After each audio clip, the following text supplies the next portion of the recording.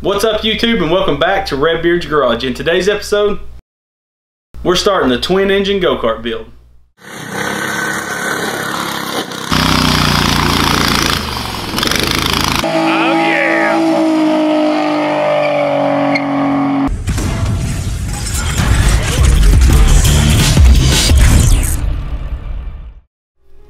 So Duromax came to us on Instagram and asked us about some of their engines and we wanted to get a couple of their 18 horses to do a sweet twin engine go-kart build. Now these are 440 cc's, 18 horse and 21 foot-pounds of torque. So that should be quite a bit of power. That's way more torque and horsepower than our V-twin go-kart has. So um, we're gonna slap these engines on with a couple of Go Power Sports 40 series torque converters. Now, if you're using anything with one inch shaft, I recommend using the 40 series. They are quite a bit more money, but they're you know 10 times beefier than a 30 series and a 30 series just simply is not going to hold up when you put this much power to it you're going to shred belts and just have a whole mess on your hands so we're going to throw a couple of 40 series torque converters and go power sports now has these nice covers that are really nice if you're using it on a mini bike so the belt if it ever did break it won't slapping the legs because that can hurt uh, we probably won't be using the covers on this build just because this is so crammed already. These engines with the torque converter installed at their widest point are 19 inches long or wide I should say. That's a that's a huge engine setup. So that means we're gonna have to have 42 inch uh, engine cage swing arm on the back of this go-kart just to be able to have a comfortable amount of room in between each engine and you know just make uh, maintenance easy on this go-kart. Uh, we're going to use a 54 inch axle on this build uh, just to get past the sheer size of this engine swing arm, uh, we're gonna have to use that 54 inch axle. And the only bad thing, we're using the Yerf Dog budget build, the one with the Tecumseh six and a half horse on it. And the go-kart frame itself is like 34 inches wide. So that means this is gonna be a monstrous wide axle sitting behind the go-kart. So uh, in a later build on it, we're gonna have to extend the front end and just do some body modifications so this thing don't look so wonky with this massive engine section on the back. But we're gonna do a couple of uh, Go Power Sports mechanical disc brakes with the eight inch disc. We're gonna do two of them on it just to stop this big, heavy, bulky thing. And uh, I'm excited about this build. We're gonna get the Yerf Dog in here. We're gonna strip off that engine section. We're gonna start building the rear engine swing arm for this build. Uh, this is gonna be an awesome build. I'm hoping it'll ride a wheelie. So let's get started.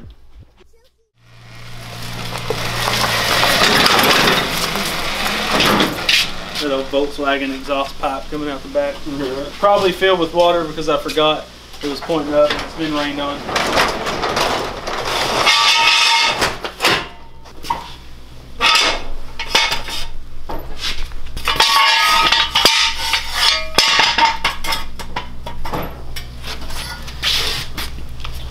So she's really happy jacked up that high. So we got to uh, loosen up the shocks and then we can take out the two bolts holding this main engine set. We're probably gonna have to cut all these off um, to fit those two engines in there. Mm -hmm. I would think for sure. We're gonna do bigger shocks as well on the back. So let's get the. We might get by with this top bar. We gotta think this is. We're gonna put longer shocks in this, of course. But I did think about doing uh, a swing arm type deal. So the axle would ride about right here and the two engines right in here. So the engines are mounted solid and then have a big swing arm. I don't know if we got the pipe to be making those, hmm. you know, for bearings to go in to make a big swing arm. That'd be a pretty awesome setup though. Mm -hmm. We did get it made. So we're gonna start with taking off the off the shocks, and we unhook the motor section, roll it back, and start building the new section uh, for the motor to sit on.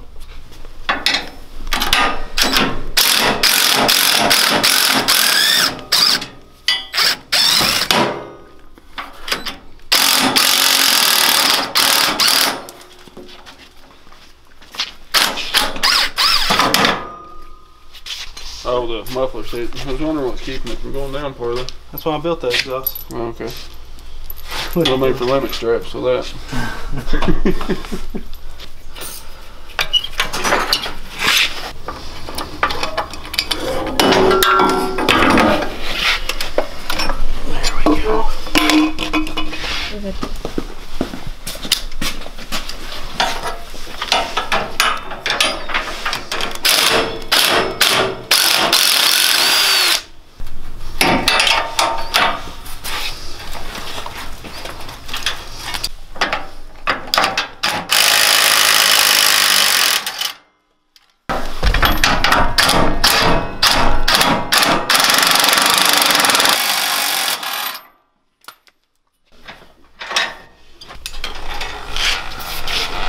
So there she is. The whole uh, engine section is off there. We'll probably have to either remake some of these or use these on the new engine section. We can just use straight tabs. Let's weld some. Oh yeah, well I don't know if I got any much thick Oh. stuff left. We'll check the It won't inventory be hard and to cut them off. Just welded on top and bottom, ain't welded on sides. So now we can figure out how. This go kart also needs a new seat on it. The seat's rotted uh, completely to nothing. But I highly doubt we're going to be able to clear this with the engines. I think just cut it completely off, Right. every bit of it. Cut it clean so we can maybe re-weld it even higher up to make it look cool or something. So I'll start uh, cutting this thing.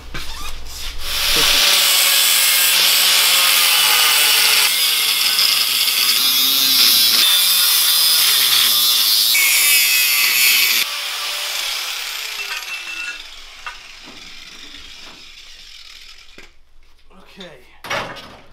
So there we go. Oh, good grief. Yeah. Look at that. Oh, that's some old sludge. I was cutting that go kart part that I got from you, full of water. the roll cage.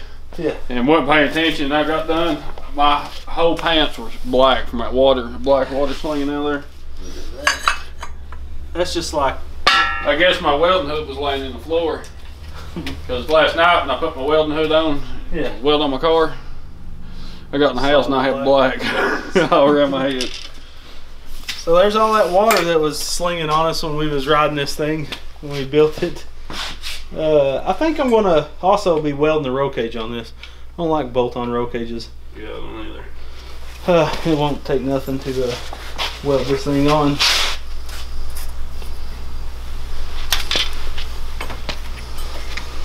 Take my loose stuff. So 42 to the inside. Yep. So.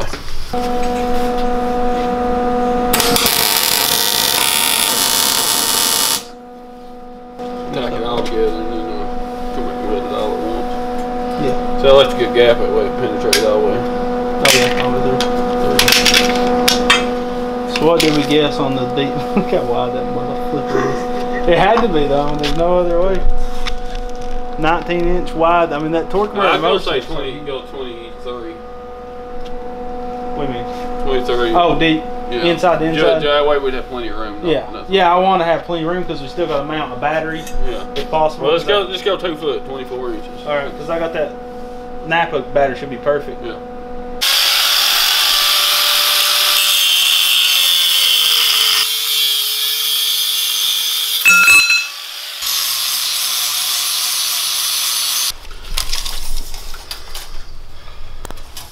So basically, to keep everything all square and uh, whatnot, he's clamping them to this solid piece of pipe. I've had this pipe laying around forever, and someone, uh, this guy at Barnyard Fab, bent me a bunch of 90s and 45s. So we have a lot of this pipe laying around. Is We this had a the size of die that you have? Uh, I think that pipe bender is what is this inch and a half? Uh, I think so. Yes, if it's inch and a half, that's what I That's have. what size. Uh, I think it's what. That's what size uh, Yeah. I like to use on everything. So I already have the die for my pipe bender for this, and I'm picking Even up. big buggies, I like this size pipe. Well, that's what he uses, isn't it? No, he uses inch seven eighths. Oh, okay. Well, On yeah, the four is cylinder perfect size. buggies, he uses this. On the smaller buggies.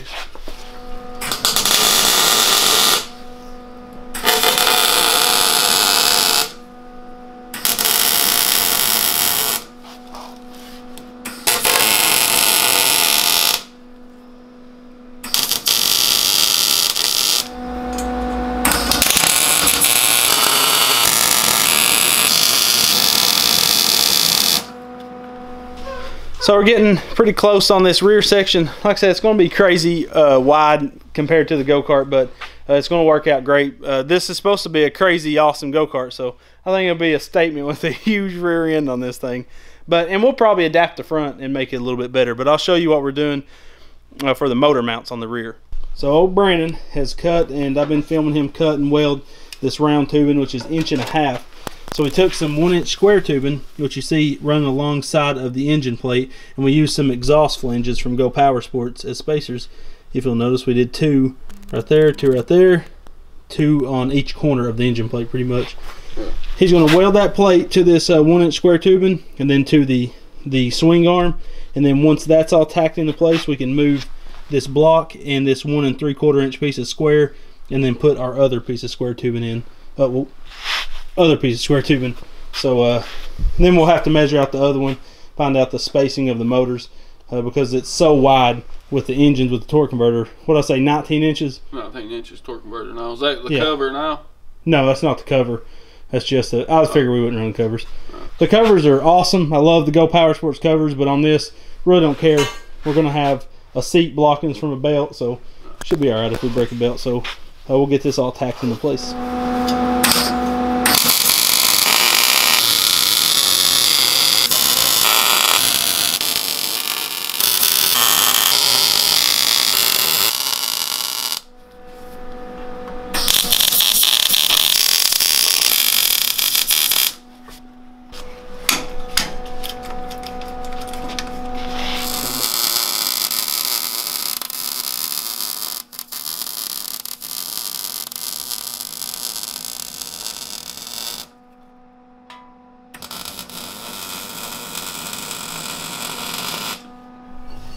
So we're gonna install this big Behemoth uh, 40 series onto the engine.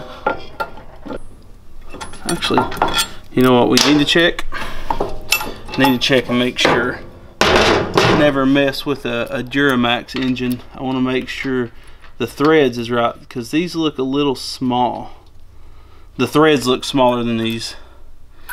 Yeah, I think I'm gonna have to go get some. Oh gosh, some bolts. Yeah, we're seeing what the uh, thread pattern is. I wonder if a 212 threads are the same.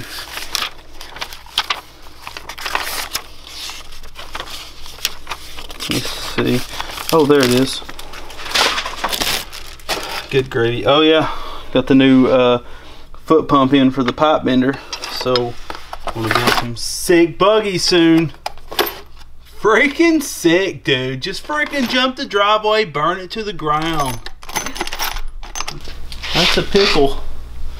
I wish the manual would tell me what uh, thread pattern they are so I could run to town and at least get four of them. Son of a biscuit eating bullfrog. Duromax, uh, first off, put it in your manual of what the uh, thread pitch is for the side cover. Please, please do that for me.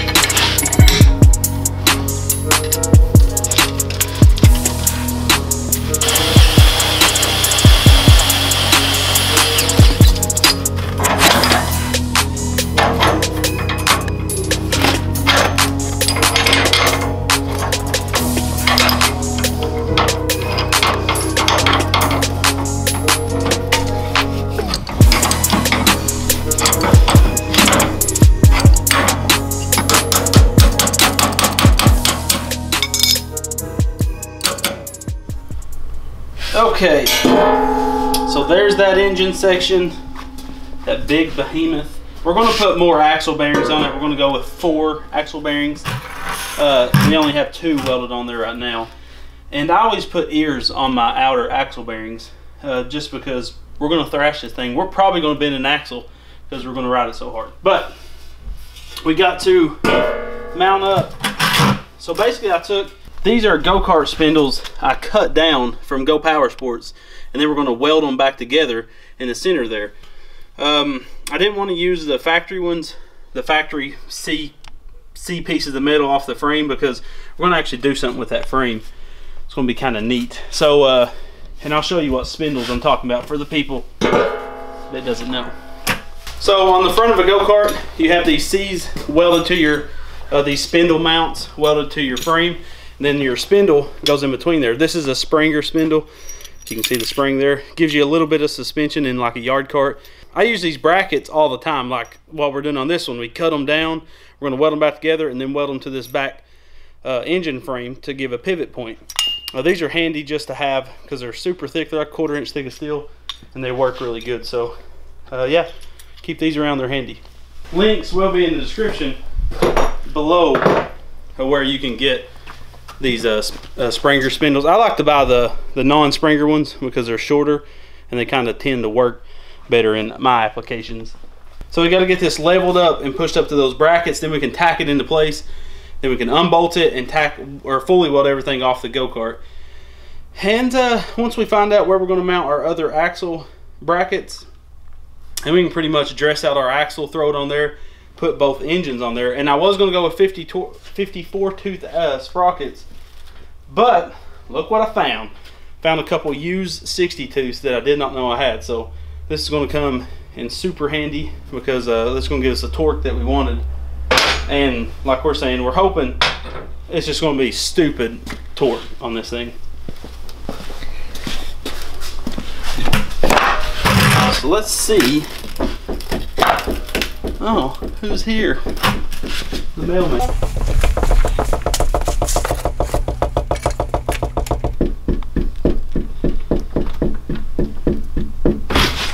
Hey. Hey, what you done? We're working on the old twin engine. Can I come in? Yeah. So we're trying to get it all square.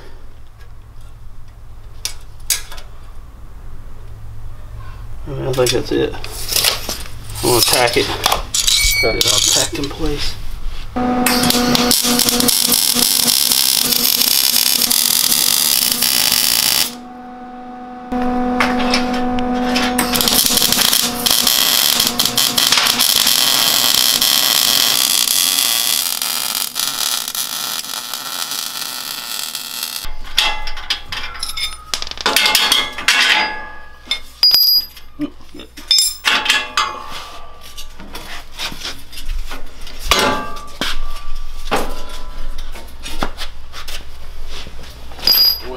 Outsides of it first. Just try to draw it out.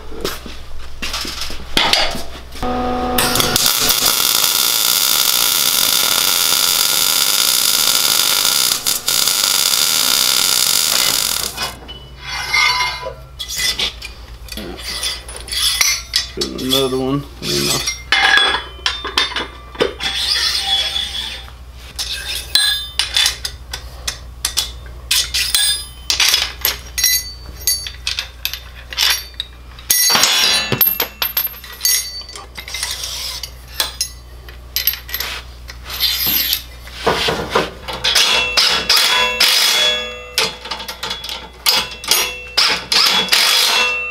It's not wide enough for for a wheel.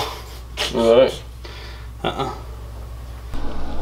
Well, we weren't thinking about not having enough axle uh, to put wheels on. We only have five inches hanging off each side, which of course isn't enough to put some wheels on, so that's unfortunate. So we looked up ordering a wider axle. The only ones we can find are 75 inches and they're over a $100 and they're not nickel plated or anything, which means they're going to rust pretty quick. And that just is a headache if you're, you know, wanting to do a gear change later or anything. It's really hard to get sprockets and brake rotors off of those rusted axles. So I think in the next episode, we're going to make our own axle, probably like a 65 inch wide axle, and we're going to put some of those 22 by 10 by 10s from Go Power Sports, those V-treads on it, and that should give us plenty of room. So definitely stay tuned. We're not messing with the shifter cart because we're waiting on parts to come in for it.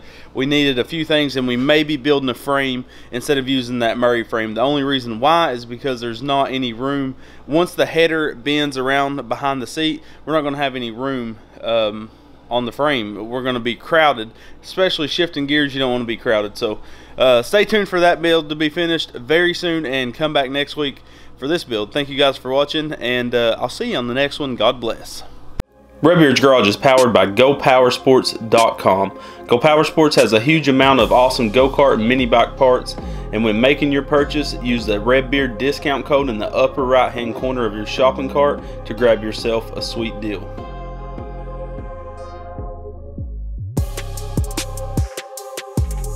Hit that subscribe button and make sure the notification bell is on so you'll never miss another episode. And go check us out on Facebook, Instagram, Snapchat, and Pinterest to stay up to date with the channel. Guys, always come back to Redbeard's Garage. I'm out.